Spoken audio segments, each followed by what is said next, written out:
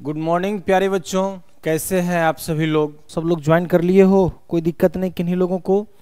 तो करते हैं हम लोग क्लास को शुरू और पढ़ना करते हैं चालू।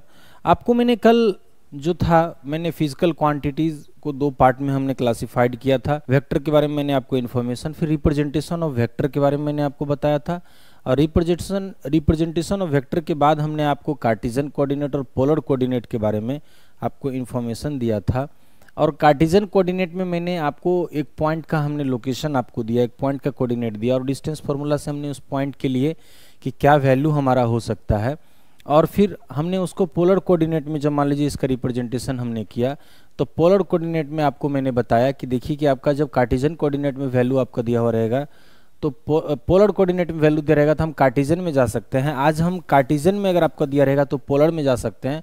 और साथ ही साथ उसी पॉइंट को अगर कार्टिजन कोऑर्डिनेट में अगर कोई पॉइंट आपको दिया हुआ है एक्स कोमा वाई तो उसको आप वेक्टर के रूप में कैसे लिखोगे, वो मैंने बता दिया और इसका मॉडल्स ऑफ़ वेक्टर के बारे में भी मैंने आपको जानकारी दे दिया।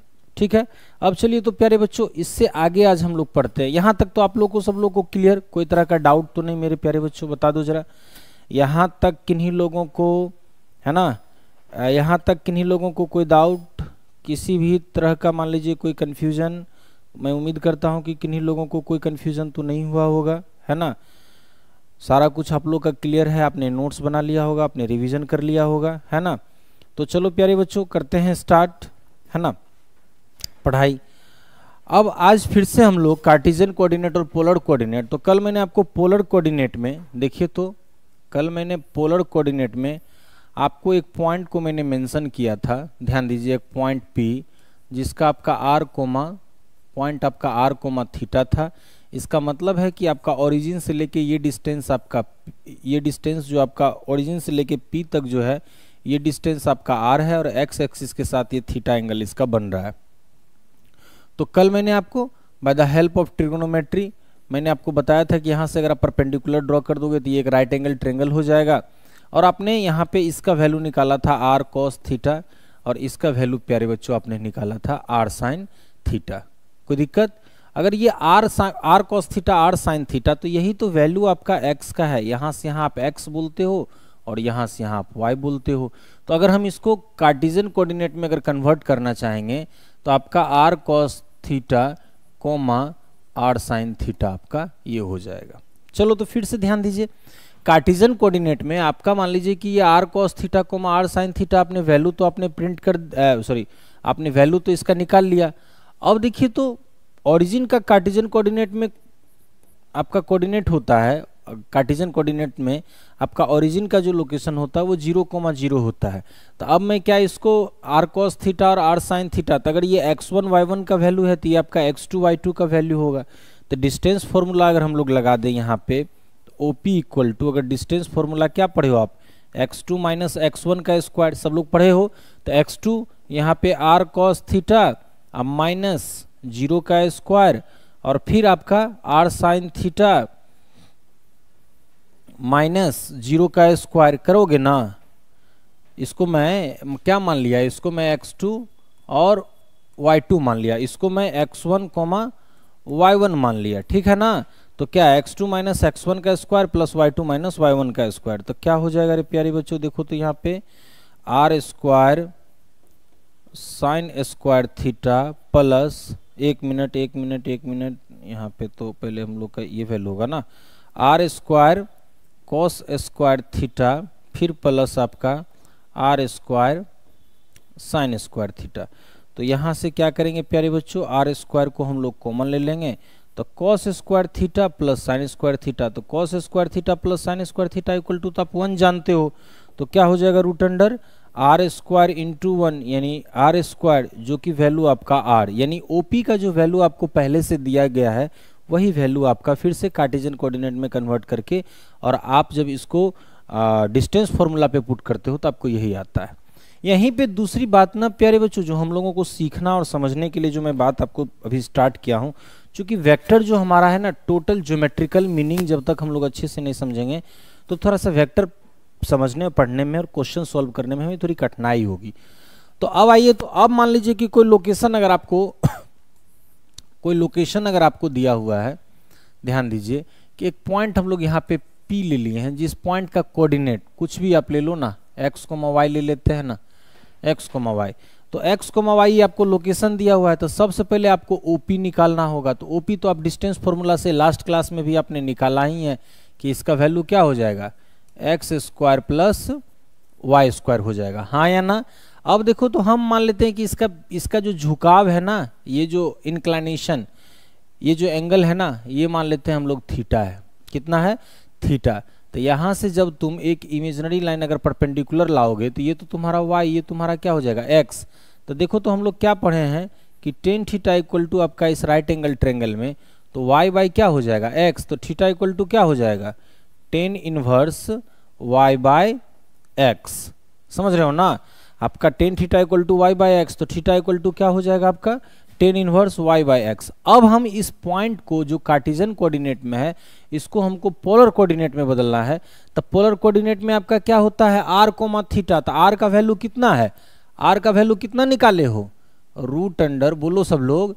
R X square root under X square plus Y square है ना? कोमा आपका थीटा का वैल्यू तो थीटा का वैल्यू कितना है? टेन इनवर्स इसको क्या पढ़ेंगे? Tan inverse Y by X तो देखो तो आपका ये आ गया।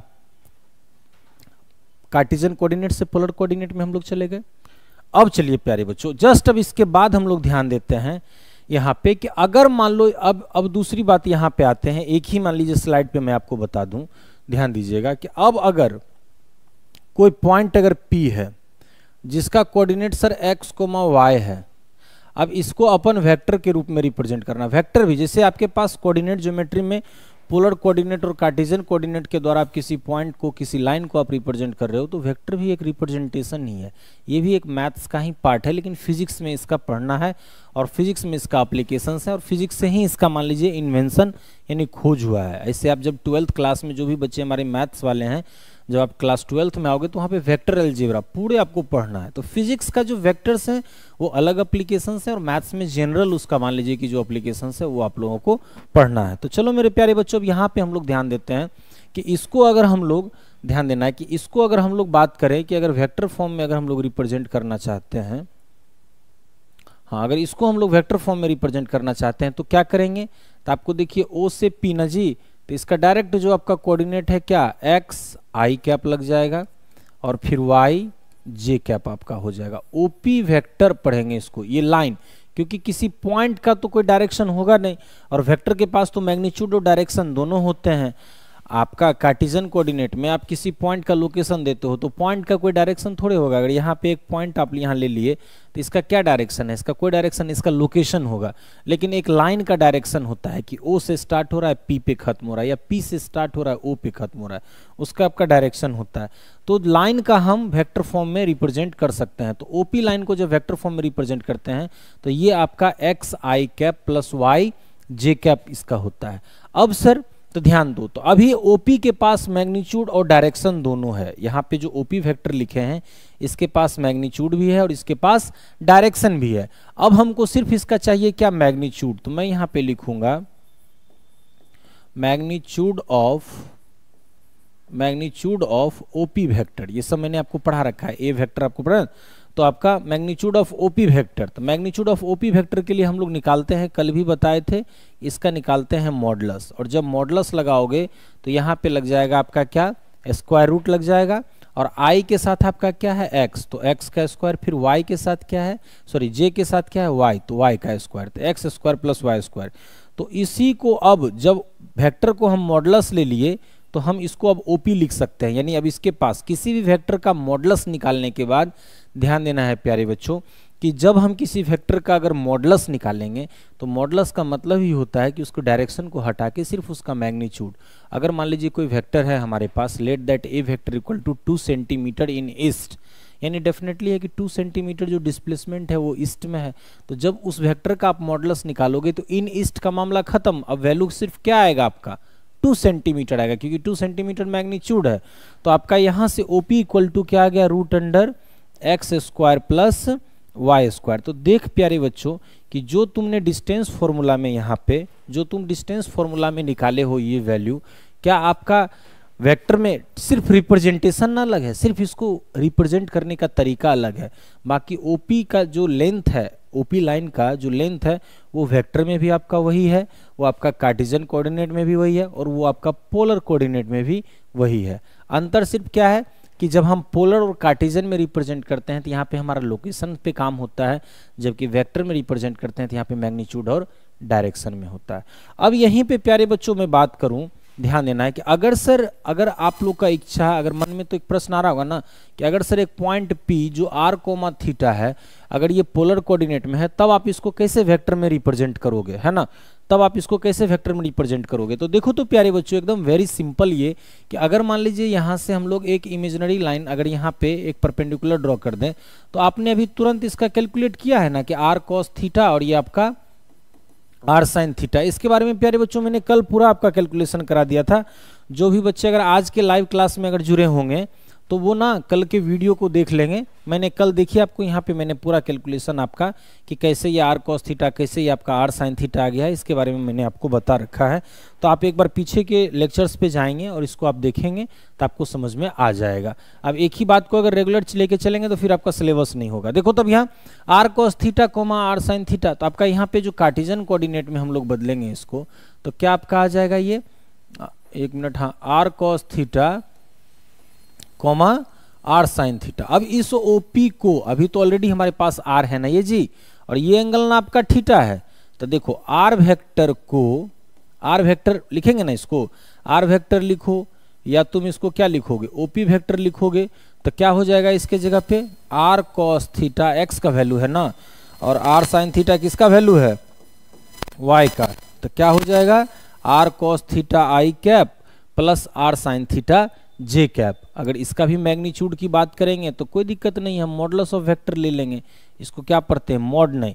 प्लस माइनस थ्री में जब आप लेते हो तो इसको मॉड पढ़ते हैं।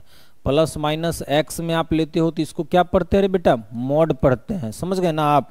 लेकिन यहाँ पे जो लेते हो तो इसको पढ़ते हैं मॉडुलस यानी वेक्टर में आपका इसको क्या पढ़ते हैं? मॉडुलस ऑफ़ वेक्टर ठीक है? तो आर वेक्टर आर वेक्टर का जब मॉडलस निकालोगे तो क्या मैंने बताया कि पहले आप स्क्वायर रूट लोगे आई के साथ क्या है? तो आई के साथ आपका आर कॉस थीटा का स्क्वायर हो जाएगा और यहाँ पे आर साइन थीटा का आपका स्क्वायर हो जाएगा। तो वैल्यू आपका यहाँ से देखो तो R square cos square theta फिर आर स्क्वायर आपका साइन स्क्वायर थीटा तो क्या करें हम लोग? आर स्क्वायर को अगर कॉमन कर लेंगे तो cos square theta plus sine square theta तो cos square theta plus sine square theta equal to तो वन होता है ना बचवा? तो देखिए यहाँ पे तुम्हारा आर वेक्टर का जो तुम मॉडलस निकाले हो, वो रूट अंडर आपका R square that is R यानी मैग्नीच्यूड तो वही है मैग्नीच्यूड में कोई चेंज आपका नहीं हुआ है। चेंज किस चीज़ में हुआ है आपका? डायरेक्शन में हुआ है। तो यहाँ तक क्या आप लोगों को समझ में आया? तो आप एक बार आप हमें कमेंट कर देंगे कंफर्म कर देंगे। अब बेटा, कोई भी बात को ना कमेंट करके ना आप डिलीट मत कीजिए। तो फिर मुझे कन्फ्यूज़न हो जाएगी कि आप हमसे क्या कोई ज़रूरी क्वेश्चन पूछ रहे हैं या आप ऐसे। और मैंने पहले ही आपको बताया अननेसेसरी कमेंट से बचिए। पढ़ने के लिए हम लोग सुबह में सात से ग्यारह आपका टाइम एकदम प्राइम टाइम आपको हम दिए हैं। इस टाइम के लिए हर बैच का डिमांड आ रहा है। लेकिन मैंने आप लोगों को चुना। क्योंकि आप लोग अभी बिल्कुल नए हो। ऐसा टाइम देंगे जिस टाइम में आपकी पढ़ाई अच्छे से हो सके, आप भी एक हेल्दी माइंडसेट में पढ़ाई कर सको।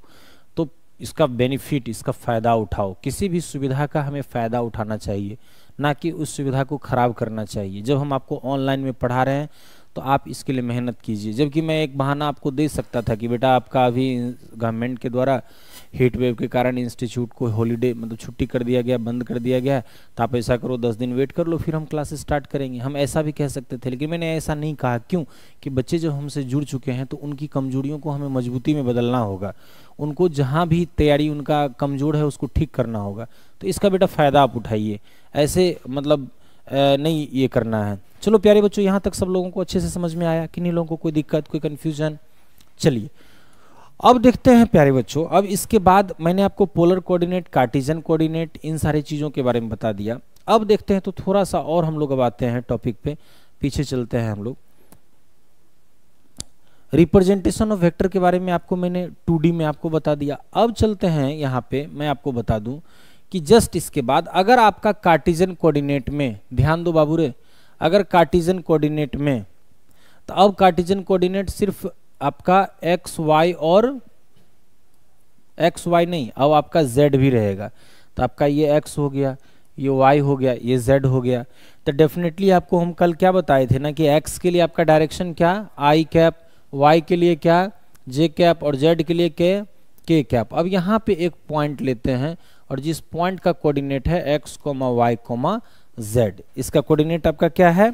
X comma, Y comma, Z. अब इसको अगर मान लो कि हम लोगों को वेक्टर में अगर रिप्रेजेंट करना पड़े तो हम यहाँ पे ओरिजिन के रिस्पेक्ट में क्या लिखेंगे? ओपी वेक्टर और ओपी वेक्टर इक्वल टू क्या हो जाएगा बाबू रे X I plus Y J plus Z के ये आपका आ गया इसका वेक्टर में रिप्रेजेंटेशन अब इसी में मान लो कि फिर से बात करते हैं हम लोग। इसका अगर मैग्नीच्यूड की हम लोग बात करेंगे तो कुछ नहीं करना है यहाँ पे। ओपी वेक्टर का हम लोग क्या करेंगे? मॉड ले लेंगे। मॉडलस ले लेंगे। मॉड नहीं। क्या लेंगे? मॉडलस और यहाँ पे आई कैप है तो क्या हो जाएगा? एक्स स्क्वायर फिर वाई स्क्वायर और फिर आपका जेड स्क्वायर तो जो आई कैप के साथ है, उसका स्क्वायर प्लस जो वाई कैप के साथ है, जो जेड कैप के साथ है, उसका स्क्वायर हम लोग कर लेंगे। अब मेरे प्यारे बच्चों, इसी में आप नेक्स्ट इसको यहाँ पे समझने के बाद हम आते हैं यहाँ पे। और आपको मैं ना, ध्यान दीजिए कुछ कुछ मैं पॉइंट्स आपको देता हूँ लेके। और इस पॉइंट को आपको, मान लो कि एक पी पॉइंट है, जिसका कोऑर्डिनेट आपके पास दो कोमा तीन है, एक आपके पास माइनस थ्री कोमा फोर है है ना? एक पॉइंट आपका यहाँ पे, एक पॉइंट आपका यहाँ पे मैं बात करता हूँ, और दूसरा एक पॉइंट मैं यहाँ पे ले लेता हूँ, प्यारे बचवा, जिसका आपका minus two comma minus two आपका कोऑर्डिनेट है, और एक मैं यहाँ पे लेता हूँ, जो कि आपका फोर कोमा माइनस थ्री आपका कोऑर्डिनेट है, ठीक है? अगर इस तरह से मान लीजिए कि आपको चारों कोऑर्डिनेट में, यानी आपका first quadrant first quadrant, second quadrant, third quadrant और फोर्थ क्वाड्रेंट में आपको मैंने चार पॉइंट दिए हैं और चारों पॉइंट के जो लोकेशंस हैं, वो मैंने आपको अलग अलग दे रखा है तो इसको वेक्टर फॉर्म में आपको रिप्रेजेंट करना है। तो ये पॉइंट पी मान लेते हैं, इसको क्यू मान लेते हैं, इसको आर मान लेते हैं और इसको एस मान लेते हैं। तो देखो तो प्यारे बच्चों, यहाँ से सबसे पहले तो एक लाइन आपको यहाँ मिलाओगे तो ये तुम्हारा होगा ओपी वेक्टर फिर इसको मिलाओगे, ये क्या होगा? ओ क्यू वेक्टर इसको मिलाओगे एक मिनट इसको जब मिलाओगे तो ये तुम्हारा क्या हो जाएगा? ओ एस वेक्टर और उसके बाद आप इसको जब आप मिलाओगे तो ये आपका हो जाएगा ओ आ, पी क्यू ये तो आर ना था ये आपका एस है। तो एक मिनट एक मिनट हाँ तो ये आपका हो जाएगा ओ एस वेक्टर रुको रुको रुको रुको हाँ ये आपका ओ एस वेक्टर ये आपका ओ आर वैक्टर तो चलो तो हम सबका वैल्यू अब यहाँ पे लिखना शुरू करते हैं, बताना आपको हम शुरू करते हैं।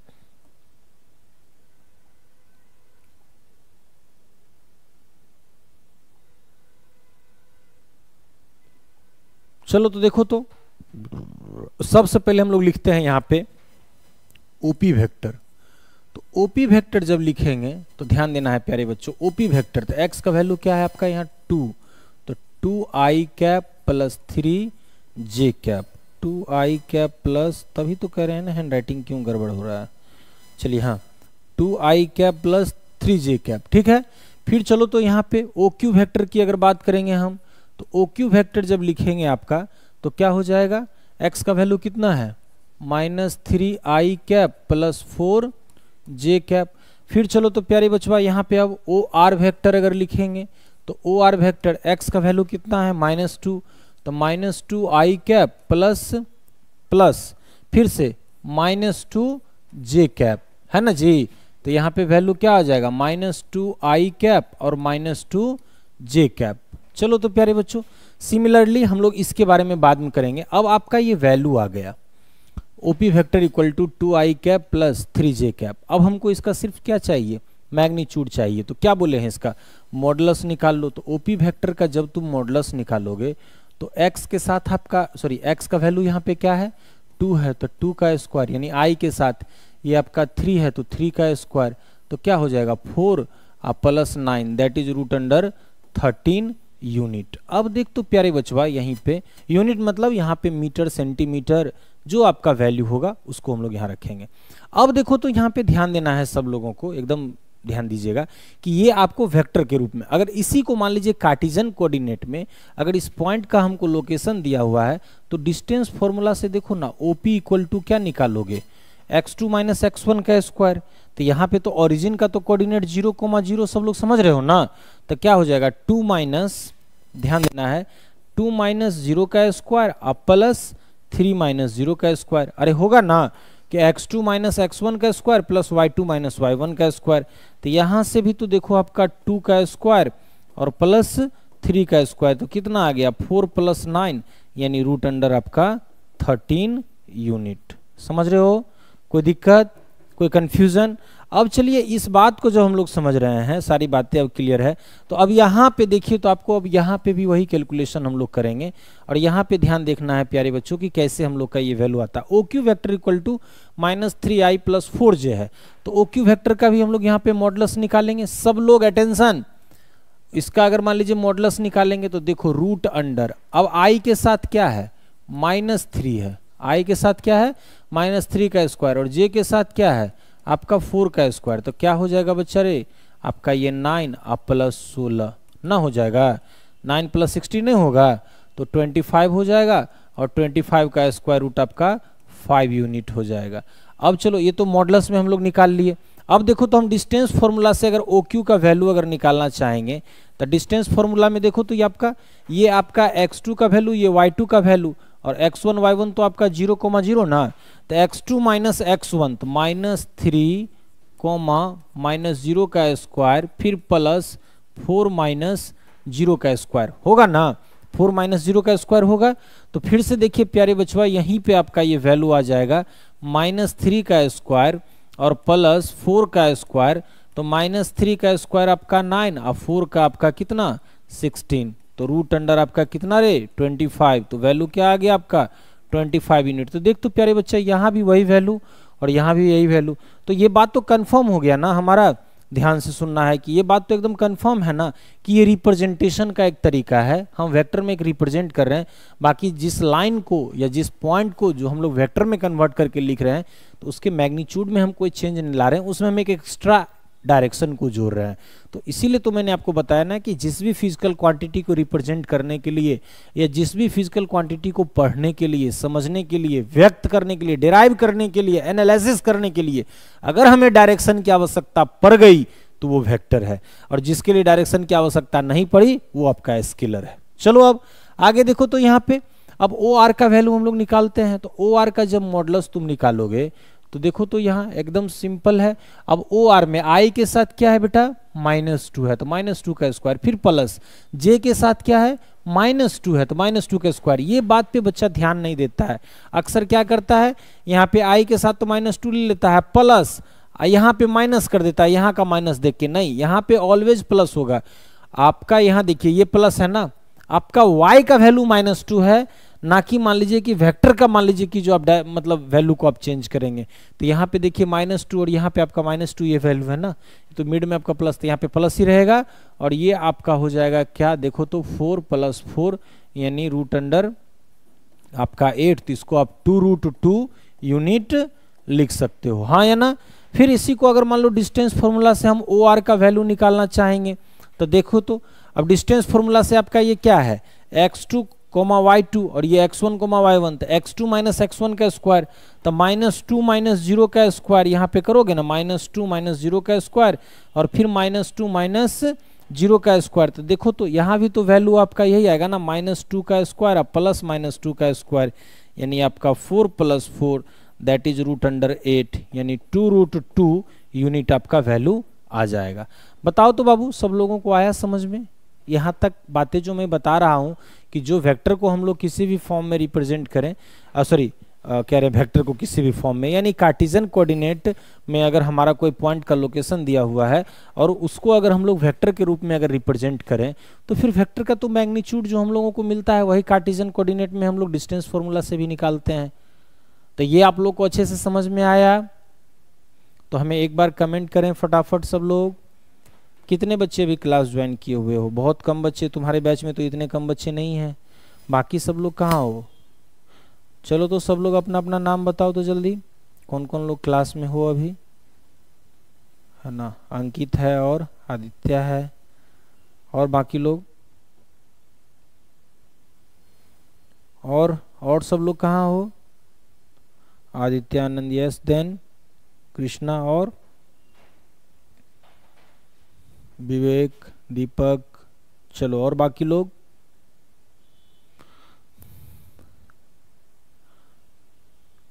सब लोग क्लास को चलिए। तो अब बढ़ते हैं आगे, क्लास को ज्वाइन करिए और आगे। अब चलो तो यहाँ से जब बातें आप लोगों को समझ में आ गया तो अब देखिए, अच्छे से मैं उम्मीद करता हूँ कि आपको कार्टिजन कोऑर्डिनेट आपको पोलर कोऑर्डिनेट और आपको मान लीजिए कि पोलर कोऑर्डिनेट और कार्टिजन कोऑर्डिनेट में जो रिलेशंस हैं, वो आपको कोई कन्फ्यूज़न आपको नहीं होगा। ठीक इसी तरह से प्यारे बच्चों, अब जैसे मैंने कार्टिजन कोऑर्डिनेट पे, अब जैसे एक पॉइंट हमारा यहाँ पे बच गया। एक पॉइंट देखो तो क्या हमारा बच गया? एक पॉइंट हमारा क्या बच गया? ओ एस वैक्टर तो ओ एस वैक्टर को कैसे लिखोगे? देखो तो four i plus four i plus minus three j cap लिखोगे ना? तो वैल्यू क्या हो जाएगा? Four i cap minus three j cap अब इसका जब हम लोगों को मैग्नीच्यूड अगर चाहिए तो क्या करेंगे? ओ एस वैक्टर ले लेंगे और आपका क्या हो जाएगा? फोर का स्क्वायर प्लस माइनस थ्री का स्क्वायर तो फोर फोर आर सिक्सटीन और माइनस थ्री आपका नाइन तो रूट अंडर बिटर ए ट्वेंटी फाइव तो ये आपका हो जाएगा क्या? फाइव यूनिट हाँ या ना? अब इसी को मान लो कि तुम कार्टिजन कोऑर्डिनेट का डिस्टेंस फॉर्मूला भी लगा के तुम इसका वैल्यू निकाल सकते हो, जैसा मैंने अभी बताया. हाँ या ना? कोई कंफ्यूजन इसमें? तो चलिए P Q R S repeat हो गया. वन सेकेंड फिर से. कहाँ पे? यहाँ. ये. पी क्यू है ना ये? ये क्यू है. पी क्यू यही तो लिखा ना मैंने O Q P Q R S ठीक है? तो सब मैंने आपको बता दिया। चलिए, अब बढ़, बढ़ते हैं आगे प्यारे बच्चों, अब ध्यान देना है आगे। अब हम लोग क्या करते हैं ना कि यहाँ पे पोलर कोऑर्डिनेट में एक बार अगर हम लोगों का डाटा दिया हुआ रहेगा, तब हम लोग कैसे इसका वैल्यू निकालेंगे, उसको हम लोग देख लेते हैं, ठीक है? पी क्यू आर एस सब तो हो गया ना? हाँ ग्राफ में सब बताते हैं।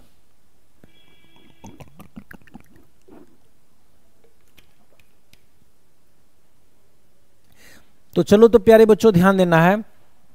अब देखना है कि पोलर कोऑर्डिनेट में ध्यान दीजिएगा प्यारे बच्चों रे, कि पोलर कोऑर्डिनेट में यहाँ पे पोलर कोऑर्डिनेट में मान लीजिए कि आपको किसी भी पॉइंट का आपको दिया हुआ है लोकेशन अब ये दे दिया, जैसे मान लो पी का वैल्यू दे दिया two metre comma thirty degree और टू मीटर नहीं भी दिया हुआ हो सकता है। मीटर नहीं दिया हुआ रहेगा सेंटीमीटर भी नहीं दिया, मीटर छोड़ना भी। अभी हम लोग यूनिट के चक्कर में काहे पढ़ेंगे पहले कंसेप्ट समझ लेते हैं। क्या? तो टू कोमा आपको थर्टी डिग्री दिया हुआ है। तो यानी आर कोमा थीटा दिया हुआ है। पोलर कोऑर्डिनेट में तो हम लोग आर कोमा थीटा के द्वारा ना तो आपका ये क्या दिया हुआ है? आर कोमा थीटा सब लोग समझो, ये क्या दिया हुआ है आपका? आर कोमा थीटा अब इसको अपन वेक्टर के साथ रिप्रेजेंट करना है। तो जब ओ से पी हम लोग वेक्टर के फॉर्म में अगर इसको रिप्रेजेंट करेंगे तो सबसे पहले जब हम पोलर कोऑर्डिनेट आपको पढ़ाए तो बस इस प्रॉब्लम में आपको मैं फिर से हिंट दे देता हूँ, आगे मुझे ना देना पड़े, ये तुम लोग आश्वस्त हमें करोगे। तो यहाँ से तो ये डिस्टेंस तुम्हारा x और ये वाई और एक्स डिस्टेंस का वैल्यू क्या होता है? वो तो मैं निकाल दिया हूँ ना, कि आर कॉस थीटा होता है है ना? और यहाँ पे प्यारे बच्चों क्या? आर साइन थीटा होता है। कोई दिक्कत? अब ये r cos थीटा होता है तो टू कॉस क्या? थर्टी डिग्री और ये आपका क्या? टू साइन थर्टी डिग्री तो देखो तो इसका कार्टिजन कोऑर्डिनेट अब आपका यहाँ पे जो हम लोग लिखेंगे तो वो होगा हमारा two cos thirty degree comma two sine thirty degree अब इसको अगर वेक्टर फॉर्म में हम लोग लिखेंगे तो यहाँ देखो ओपी वेक्टर इक्वल टू जब हम लोग लिखेंगे तो लिखेंगे two cos thirty degree i cap, फिर two sine thirty degree j cap तो क्या हो जाएगा? Two into root three by two i cap, फिर आपका two into one by two j cap. Two से टू कैंसिल, यहाँ भी टू से टू कैंसिल तो क्या आ गया? रूट थ्री आई कैप, और यहाँ पे आपका जे कैप ये आपका ओपी वेक्टर इक्वल टू आ गया। अगर पोलर कोऑर्डिनेट में दिया हुआ रहेगा, तब। अब प्यारे बच्चों, इसका अगर हम लोग मैग्नीच्यूड निकाल लेते हैं मैग्नीच्यूड इसका भी निकाल सकते हैं तो मॉडलस निकालेंगे। तो जब इसका मॉडलस निकालेंगे तो ध्यान दो, यहाँ पे आई के साथ क्या है? रूट थ्री का स्क्वायर और जे के साथ क्या है? वन ही तो है सिर्फ़। हाँ या ना? जे के साथ क्या है रे? या तो वन ही ना है? सिर्फ़ जे लिखा हुआ है तो वन इंटू जे नहीं लिख सकते हो। बोलो ना हाँ या ना तो चलो। यहाँ पे भी तो वन है ना वन जे कैप तो चलिए यहाँ पे, ये आपका हो जाएगा थ्री और प्लस वन तो आपका क्या हो जाएगा ये फोर यहाँ से बाहर क्या आ गया?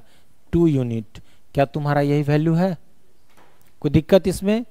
तो यानी जो आपका इसका मैग्नीच्यूड है, उसी को हम लोग रिप्रेजेंट किए हैं डायरेक्शन लगा के। डायरेक्शन कैसे निकालेंगे वो अलग से? अभी पहले मैग्नीच्यूड सीख लो। अब देखो तो प्यारे बच्चों, यहीं पे हम लोग ध्यान देते हैं। अब मान लो कि तुम्हारे पास एक और मैं देता हूँ लेके, सब लोग को एक लाइन में इसका वैल्यू निकलना होगा। ये मान लो तुम्हारा three comma forty five degree है। Three comma forty five degree है, एक पॉइंट का तुम्हारा पोलर कोऑर्डिनेट में लोकेशन ये ओ। अब इस पॉइंट को हम पी ना लेके, है ना पी ना लेके हम क्यू ले लेते हैं। इसको हम लोग क्या करेंगे कि क्यू ले लेंगे। अब इसको जब वेक्टर फॉर्म में लिखोगे ना तो देखो O Q vector equal to अब मैं डायरेक्ट लिखता हूँ। देखो तो अब डायरेक्ट हम लोग बिना अब ये परपेंडिकुलर वगैरह ड्रॉ किए हुए। देखना है यहाँ पे प्यारे बच्चों three cos forty five degree i cap और three sine forty five degree j cap सब लोगों को ये आया है? सब लोगों का आया है? सर कैमरा धुंधला हो गया है। कहा रे बच्चा? कैमरा का धुंधला? कैमरा तो आपका ठीक है, किसी भी प्रकार का दिक्कत तो नहीं है, हम तो यहाँ स्क्रीन पे देख रहे हैं। क्या कोई परेशानी?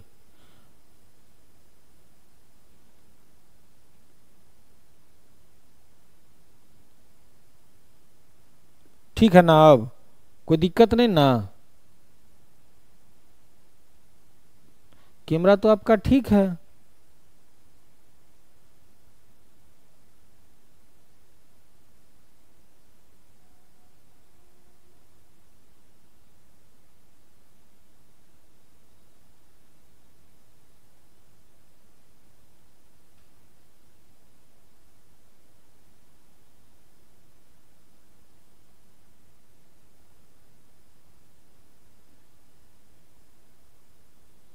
एक मिनट वेट करो वेट करो।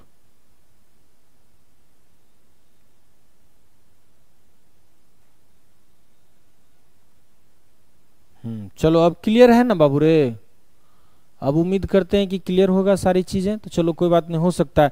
वो क्वालिटी थोड़ा बढ़ा लो ना, तुम लोग तो डाटा बचा के रखते हो रील देखने के लिए हाँ? ये तुम कितना मान लो कि जो तुम लोग शॉर्ट सा रील के पीछे पढ़ाई करने रहे वेक्टर पूरे फिजिक्स का एकदम बेस है। वेक्टर बढ़िया तो फिजिक्स को एकदम उड़ा देंगे।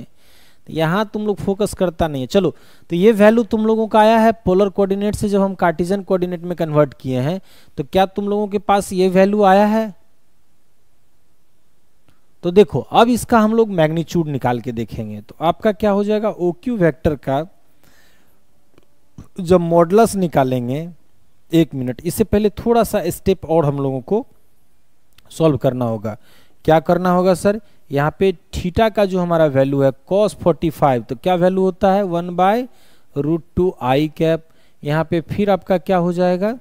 साइन 45 का भी value one by root two, आपका यहाँ जे कैप यानी three by root two i cap plus three by root two j cap. अब इसका अगर हम लोग मॉडलस निकालेंगे, अब इसका अगर मॉडलस निकालेंगे तो आपका थ्री बाय रूट टू का स्क्वायर और plus three by root two का स्क्वायर तो ध्यान दीजिएगा प्यारे बच्चों यहाँ से एकदम सब लोग कि O Q vector equal to आपका आ जाएगा। ध्यान दीजिएगा सब लोग कि आपका थ्री बाय रूट टू यानी नाइन बाई टू ध्यान दीजिएगा सब लोग। थ्री बाय रूट टू है ना स्क्वायर तो नाइन बाई टू और फिर आपका यहाँ पे नाइन बाई टू हो जाएगा। थ्री थ्री आर नाइन और रूट टू का आपका टू हो जाएगा। तो प्यारे बचवा यहाँ पे तुम अगर टू एलसीएम लोगे तो कितना आ जाएगा रे? Eighteen by two that is nine by nine eighteen by two nine, यानी आपका थ्री।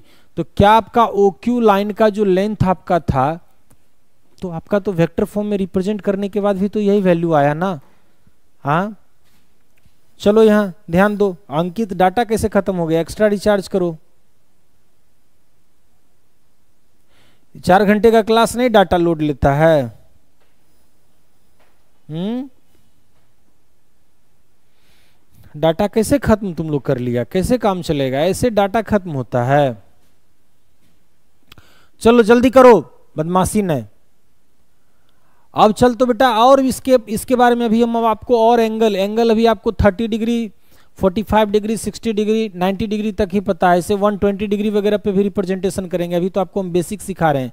यहाँ तक सब लोगों को आया समझ में? डाटा दो जीबी काफ़ी है। अगर दो जीबी फ़ोन में डाटा रहेगा तो आप अच्छे से पढ़ सकते हो। इसीलिए ना सुबह सुबह क्लास दिए हैं लेके। सात बजे से कि कोई डाटा आपका खत्म ना हो और सारी डाटा पढ़ाई में यूज़ हो। डाटा खत्म नहीं हुआ है सर डाटा बचाए हुए हैं। कुछ और भी काम है इसके लिए। हम सब बात समझते हैं। चलो देखो तो यहाँ तक समझ में आया रिप्लाई करो जल्दी, यहाँ तक समझ में आया। चलो, अब देखो तो आगे, ध्यान देना है। अब अगर इसी तरह से एक क्वेश्चन और ले लो तुम लोग, जल्दी करो। अब एक क्वेश्चन और मैं लेता हूँ, और अब की बार मैं उम्मीद करूँगा कि तुम लोग मुझे सॉल्व करके दोगे। अब ये पॉइंट हमने ले लिया एस और इसका कोऑर्डिनेट है सिक्स कोमा सिक्सटी डिग्री कितना है? सिक्स कोमा सिक्स कोमा आपका सिक्सटी डिग्री है। तो चलिए, इसको जब हम लोग वेक्टर में अगर रिप्रेजेंट करेंगे तो O S vector equal to लिखेंगे six cos sixty degree i cap plus six sine sixty degree j cap. लिखेंगे ना? तो देखो तो यहाँ O S vector equal to six into six into one by two i cap और फिर six into root three by two j cap. तो ये कैंसिल हो गया आपका थ्री और ये भी आपका थ्री। तो O S vector equal to आपका हो जाएगा three i cap plus three root three j cap. तो ओ एस वैक्टर को जब हम लोग मॉडलस में लेंगे तो देख रहे प्यारे बचवा, थ्री का square plus three root three का स्क्वायर करोगे ना तो कितना आ जाएगा आपका ये नाइन? और ये नाइन इंटू थ्री नहीं होगा। देखो तो थ्री का स्क्वायर करोगे नाइन और रूट थ्री का तो थ्री हो जाएगा। तो कितना? नाइन आप प्लस कितना? ट्वेंटी सेवन दैट इज़ कितना? थर्टी सिक्स बाहर कितना आया? सिक्स यूनिट कोई दिक्कत? कोई कंफ्यूजन चलो वेरी गुड सब लोगों का आंसर आ रहा है। तो सीख गए ना आप लोग कि अगर कार्टिजन कोऑर्डिनेट में दिया हुआ रहे तो और पोलर कोऑर्डिनेट में दिया हुआ रहे तो किसी भी कोऑर्डिनेट में दिया हुआ रहेगा, हम इजिली मान लीजिए वेक्टर फॉर्म में उसको रिप्रेजेंट कर सकते हैं और उसके मैग्नीट्यूड में कोई चेंजिंग नहीं आता है। इसके बाद प्यारे बच्चों, यहाँ पे मैंने आपको जस्ट इससे पहले मैंने आपको थ्री डी कोऑर्डिनेट में भी मैंने आपको रिप्रेजेंट थ्री डायमेंशनल रिप्रेजेंटेशन ने मैंने नहीं किया है ना अभी? कहाँ पे?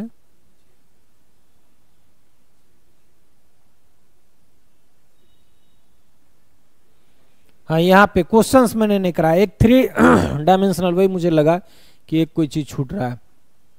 अब आपको मैंने polar coordinate Cartesian coordinate Cartesian coordinate मैंने आपको two D x comma y पे आपको ना, है ना? एक्स कोमा वाई पे मैंने आपको बता दिया। अब हम x comma y comma z पे आएँगे। बस एक लास्ट क्वेश्चन आपका, फिर आगे हम लोग टॉपिक पढ़ना शुरू करेंगे। देखो तो अगर मान लो यहाँ पे आपका थ्री डी में आपका ये x, ये y सॉरी ये x, ये y और z. तो आपका अगर मान लीजिए कोऑर्डिनेट अगर एक p वेक्टर का कोऑर्डिनेट अगर टू कॉमा फोर कॉमा अगर थ्री है, यानी x का वैल्यू आपका टू y का वैल्यू फोर और z का वैल्यू अगर आपका थ्री है तो इसको आप किस तरह से वेक्टर फॉर्म में रिप्रेजेंट करेंगे? तो वेक्टर फॉर्म में रिप्रेजेंट करने के लिए हम ओपी वेक्टर जब लिखेंगे तो ओपी वेक्टर इक्वल टू कुछ नहीं करेंगे two i plus four j plus three k ये लिख देंगे। अब इसका लेंथ तो जो डिस्टेंस फॉर्मूला से आएगा, वही मॉडलस ऑफ़ वेक्टर से आएगा। तो मॉडलस ऑफ़ वेक्टर निकालोगे तो टू का स्क्वायर प्लस फोर का स्क्वायर प्लस थ्री का स्क्वायर करोगे तो कितना हो जाएगा आपका ये? Four plus sixteen plus nine तो root under twenty nine unit आपका आ जाएगा। अगर डिस्टेंस फॉर्मूला तुम लगाओगे, OP equal to root under तो x two minus x one का square plus y two minus y one का square plus z two minus z one का स्क्वायर। तो देखो, एक्स टू का वैल्यू क्या? टू, और एक्स वन का वैल्यू ज़ीरो। फिर आपका यहाँ पे वाई टू का वैल्यू फोर, वाई वन का वैल्यू ज़ीरो। और Z2 का वैल्यू थ्री और Z1 का वैल्यू आपका ज़ीरो तो यहाँ से भी बेटा आपका वही वैल्यू आएगा। देखो टू का स्क्वायर प्लस फोर का स्क्वायर प्लस थ्री का स्क्वायर तो कितना आ गया? Four plus sixteen plus nine root under twenty nine unit तो चाहे डिस्टेंस फॉर्मूला से निकालो या वेक्टर का मॉडलस करके निकालो। इसी तरह से बाबू रे एक पॉइंट और हम लोग क्यू ले लेते हैं, जिसका कोऑर्डिनेट आपको दिया हुआ है minus two comma one comma three. आपको ये दे दिया। Minus two comma one comma three. तो क्या लिखोगे इसको? O Q vector equal to. देखो तो O Q vector equal to आप एक minute. O Q O Q vector equal to आप क्या लिखेंगे? Minus two i plus j plus three k. आप इसका मॉडलस निकाल लेंगे। अगर मान लीजिए इसी तरह से एक पॉइंट आपका आर है, जिसका coordinate two comma minus one comma minus two है यानी आपका देखिए x का वैल्यू यहाँ पॉजिटिव है, y और z आपका नेगेटिव है। तो अगर इसको ओरिजिन के रिस्पेक्ट में जब आप इसका वेक्टर फॉर्म लिखेंगे ओ आर वैक्टर तो क्या आ जाएगा? टू आई कैप प्लस एक minute two i cap plus minus one j cap फिर plus minus two k cap finally इसको क्या लिखेंगे? Two i cap minus j cap minus two k cap अब इसका अगर मॉडलस निकालना हो तो क्या मैं इधर निकाल दूँ? यहाँ पे यहाँ पे मैं थोड़ा सा जगह का परमिशन आपको ले लेता हूँ। तो देखो तो यहाँ क्या है प्यारे बच्चों? O R vector equal to आपका। Two i cap minus j cap minus two k cap तो क्या आ जाएगा यहाँ? ओ आर वेक्टर का जब मॉडलस निकालोगे तो रूट अंडर देखो तो यहाँ सीखना है। क्या आई के साथ क्या है? टू का स्क्वायर प्लस जे के साथ क्या है? माइनस वन का स्क्वायर और के के साथ क्या है? माइनस टू का स्क्वायर तो देख तो प्यारे बच्चा रे, कितना है आपका ये? Four plus one plus four कितना? रूट अंडर नाइन आपका थ्री यूनिट आंसर आ गया। बताओ छिति जितना आंसर आया तुम्हारा? रूट फोर्टीन कैसे ले आया रे? आ? अच्छा ओ क्यू का वैल्यू नाइन प्लस वन हा फोर्टीन ओ क्यू का वैल्यू रूट फोर्टीन और इसका ओ आर का ओ आर का वैल्यू थ्री यूनिट आया है? जल्दी बताओ सब लोग। यहाँ तक सब लोगों को समझ में अच्छे से आया किन लोगों को कोई कंफ्यूजन तो नहीं। काफ़ी देर लगा आप लोगों को हर चीज़ को एक्सप्लेन करने में। यहाँ तक में किन्हीं बच्चों को किसी प्रकार का कोई दिक्कत नहीं ना। बताओ जल्दी।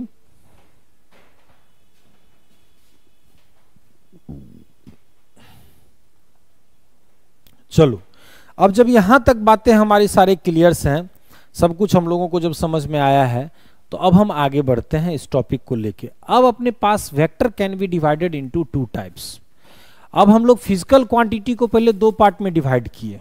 फ़िज़िकल क्वांटिटी को हम लोग दो पार्ट में डिवाइड किए। कौन कौन वेक्टर और स्केलर। स्केलर या वेक्टर। यानी जिस फ़िज़िकल क्वांटिटी को लिखने के लिए, जिस फ़िज़िकल क्वांटिटी को रिप्रेजेंट करने के लिए, जिस फ़िज़िकल क्वांटिटी को डिराइव करने के लिए, हमें सिर्फ़ और सिर्फ़ मैग्नीच्यूड की ज़रूरत होती है, उसे हम स्केलर कहते हैं। लेकिन जिस फ़िज़िकल क्वांटिटी को लिखने के लिए रिप्रेजेंट करने के लिए, हमें मैग्नीच्यूड के साथ डायरेक्शन की भी ज़रूरत पड़ती है तो उसे हम वेक्टर कहते हैं। अब right now vector can be classified into two terms या टू टाइप्स लेकिन vectors can be divided into two types पहला आपका क्या है? Polar vectors these are those vectors which have a straight है ना? Which sorry which have a starting point these are those vectors which have a starting point और a point of application यानी ये वो वेक्टर्स हैं कि जिनका आपके, जिनके पास स्टार्टिंग पॉइंट होता है या वो पॉइंट अप्लीकेशन यानी एक बिंदु से दूसरे बिंदु, एक पॉइंट से दूसरे पॉइंट तक। इसको हम पोलर वेक्टर कहते हैं। इसका एग्ज़ाम्पल क्या है? डिस्प्लेसमेंट इसका एग्ज़ाम्पल क्या है? फोर्स अच्छा प्यारे बच्चों, एक बात मैं तुम लोगों को बता दूँ कि तुम लोग डिस्टेंस और डिस्प्लेसमेंट तो समझता होगा। डिस्टेंस एंड डिस्प्लेसमेंट मैं एक बार में आपको सिर्फ़ समझा देता हूँ और फिर मैं आगे बढ़ लेगा मतलब उस टॉपिक पे हमको जाना है। अब देखिए मान लीजिए जैसे यहाँ पे प्यारे बच्चों यहाँ पे ध्यान देना है आ,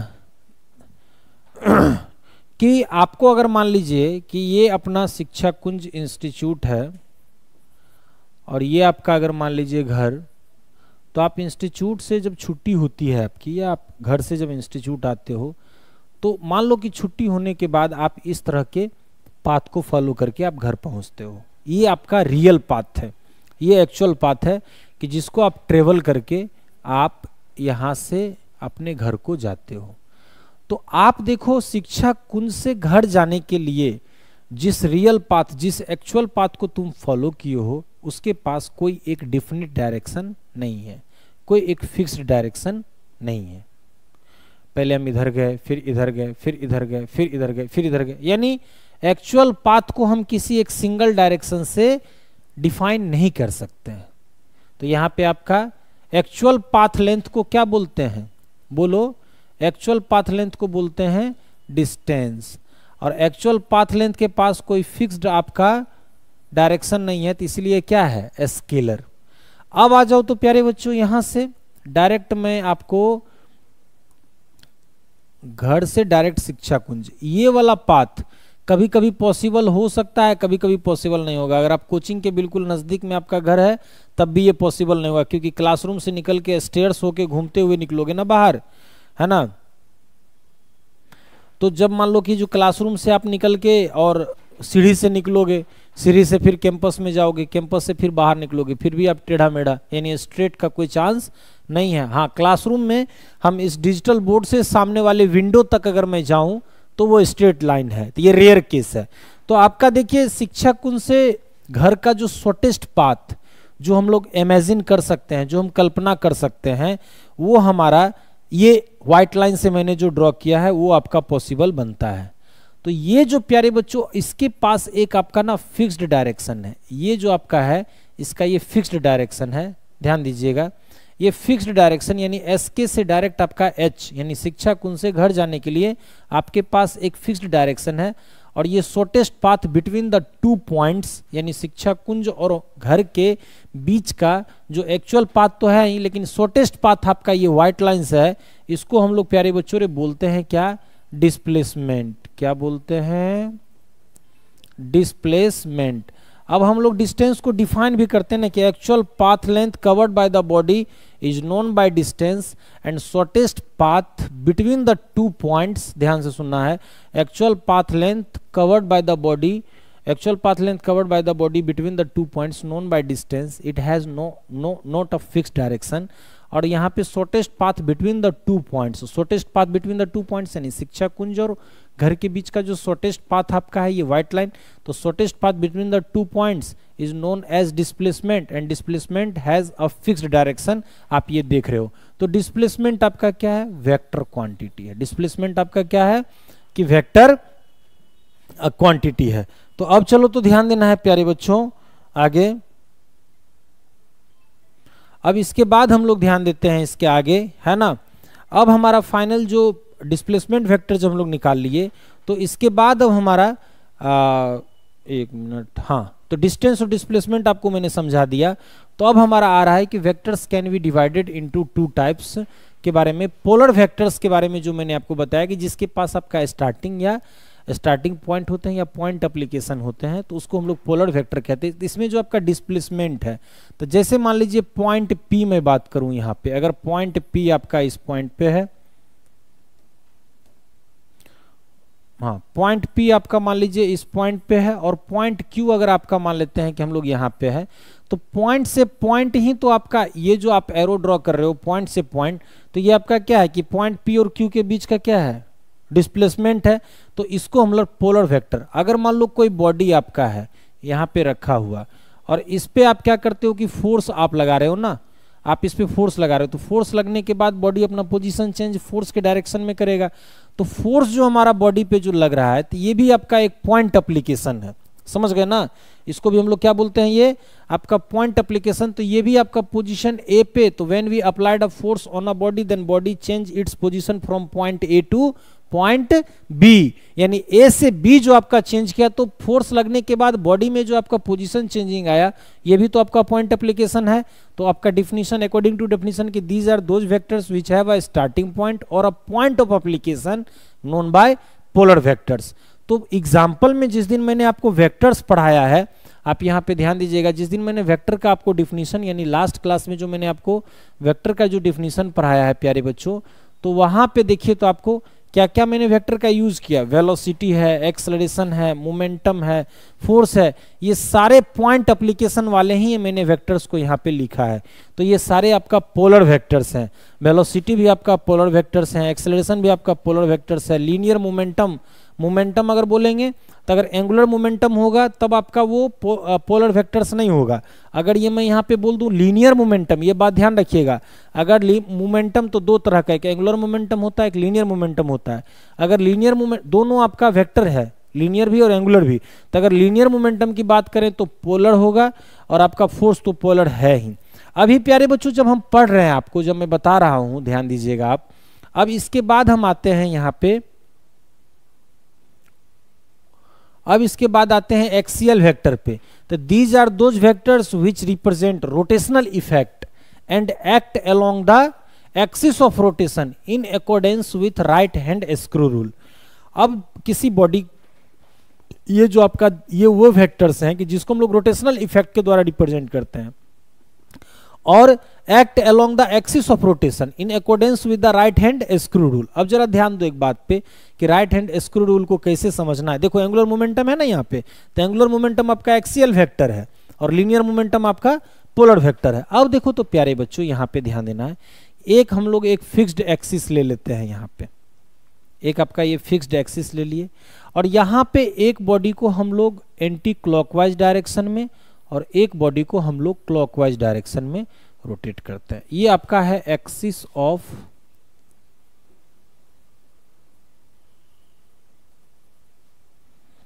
axis of rotation आपका। ठीक है? देखो तो। अब एक को हम लोग क्लॉकवाइज और एक को हम लोग एंटी क्लॉकवाइज एंटी क्लॉकवाइज तो अब आ जाओ तो यहाँ पे these are those vectors which represents rotational effect and act along axis of rotation in accordance with right hand screw rule right hand को ऐसे करके राइट हैंड है आपका ये, इसके चारों फिंगर को थम को आप ऊपर रखिए और चारों फिंगर को ऐसे करके आप बेंड कीजिए जैसे हम किए हुए हैं। तो यानी ये चारों उंगली ये बता रहा है कि ये रोटेशन है एक्सिस ऑफ़ रोटेशन मतलब एक्सिस के अबाउट में रोटेट कर रहा है बॉडी इस डायरेक्शन में। तो ये तो आपका एंटी क्लॉकवाइज ना है बेटा। और ये थम अगर कोई बॉडी एंटी क्लॉकवाइज में अगर रोटेट करेगा तो उसका जो डायरेक्शन है वो perpendicular to the plane directed outward या ऐसे करोगे तो अपवर्ड देखो तो अब ध्यान दो। आप लोग कभी नट पे बोल्ट को टाइट किए हो?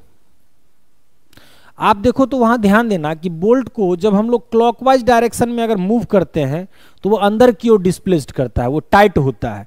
और जब बोल्ट को हम लोग एंटी क्लॉकवाइज में अगर घुमाते हैं तो वो ढीला होता है, खुलता है। उसी को अगर हम ऐसे रखें और उसको अगर क्लॉकवाइज में अगर घुमाएँगे तो वो हमारा डाउनवर्ड डायरेक्शन में आएगा। और जब हम लोग उसको एंटी क्लॉकवाइज में घुमाएँगे तो अपवर्ड तो यही राइट हैंड स्क्रू रूल है। राइट हैंड स्क्रू रूल की फोर फिंगर को, यानी चारों फिंगर को हम इस तरह से बेंड करते हैं कि जो हमारा रोटेशन के डायरेक्शन को बताता है और थम हमारा ध्यान से सुनना है कि उसमें जो पोजीशन चेंज हो रहा है उसके डायरेक्शन को बता रहा है। तो अगर आप इसको ऐसे रखोगे तो देखो ये क्लॉकवाइज तो डाउनवर्ड, और ऐसे रखोगे तो anti clockwise, upward.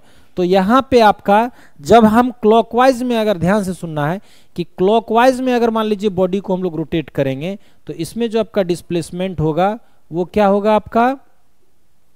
Downward direction में होगा। समझ रहे हो ना?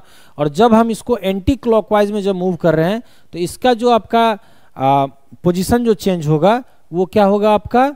अपवर्ड डायरेक्शन में आपका होगा। तो प्यारे बच्चों, इसी बात को यहाँ पे ध्यान से आपको समझना था और इसी चीज़ को, और इसी को हम एक्सियल वेक्टर कहते हैं, क्योंकि एक्सियल वेक्टर में बोला ही गया है कि these are those vectors which represents rotational effect and act along the axis of rotation in accordance with the right hand screw rule यानी ये आपका रोटेशनल इफ़ेक्ट के कारण यहाँ पे जो पोजीशन आपका चेंज हो रहा है तो हम उसके कारण जो आपका डायरेक्शन जो डिपेंड करता है, या मान लीजिए मैग्नीट्यूड डायरेक्शन को जो हम रिप्रेजेंट करते हैं तो उसको हम लोग एक्सियल वेक्टर कहते हैं। इसमें आपका क्या है? एंगुलर वेलोसिटी आपका यहाँ पे क्या आ जाएगा? टॉर्क दूसरा आपका क्या आएगा? एंगुलर मोमेंटम अब टॉर्क हम लोग किसको बोलते हैं? तो अगर मान लो किसी बॉडी पे ध्यान से सुनना है टॉर्क ही तो आपको बोल रहे हैं ना नट पे बोल्ट को जो हम लोग टाइट करते हैं तो उसमें क्या प्रोड्यूस हो रहा है आपका? टॉर्क जब किसी बॉडी पे ध्यान से सुनना है कि जब किसी बॉडी पे हम एक्सटर्नल फोर्स लगाते हैं या जब किसी बॉडी पे हम एक्सटर्नल एफर्ट लगाते हैं और बॉडी अपने एक्सिस के अबाउट में अगर रोटेट करने लगे तो हम बोलते हैं वहाँ पे टॉर्क आपका प्रोड्यूस हुआ है। तो बॉडी अपने एक्सिस के अबाउट में रोटेट करेगा या तो क्लॉकवाइज रोटेट करेगा या एंटी क्लॉकवाइज तो एंटी क्लॉकवाइज तो अपवर्ड और क्लॉकवाइज तो डाउनवर्ड तो उसको हम लोग राइट हैंड स्क्रू रूल से रिप्रेजेंट करते हैं। अगर जैसे यहाँ पे प्यारे बच्चों में बताऊँ, अगर ऐसे मैं करूँ तो ये आपका क्या है? एंटी क्लॉकवाइज ना है। तो देखिए perpendicular to the plane directed क्या बोलेंगे? आउटवर्ड और यहाँ पे अगर मान लीजिए कि आपका अगर मैं अकॉर्डिंग टू मान लीजिए क्लॉकवाइज तो देखिए आपका ये perpendicular to the plane directed inward बता बेटा, यहाँ तक समझ में आया आप लोगों को? यहाँ तक समझ में आया आप लोगों को? किन्हीं लोगों को कोई दिक्कत?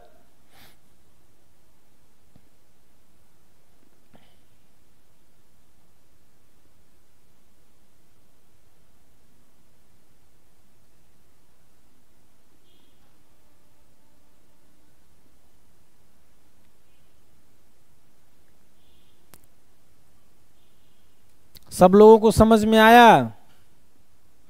कोई दिक्कत किन्हीं को बाबू रे? बता जल्दी। चलो तो सब लोगों को समझ में आ गया। तो ठीक है तो आज मैंने आपको वेक्टर का भी मैंने आपको क्लासिफिकेशन कर दिया और कल होगा तो और हम इस पर आपको एक्सियल वेक्टर के और दो एप्लीकेशंस के बारे में बता के, कल नहीं, कल तो संडे है, कल आप लोगों का लीव रहेगा। फिर मंडे से क्लास रहेगा, क्योंकि एक दिन पूरा प्लान भी तो करना होता है। देखते हो ना, पीपीटी वगैरह सब बना के, सब अरेंज करना पड़ता है, तब जाके ना पढ़ाना पड़ेगा। तो सब चीज़ रहते हैं तो ठीक है।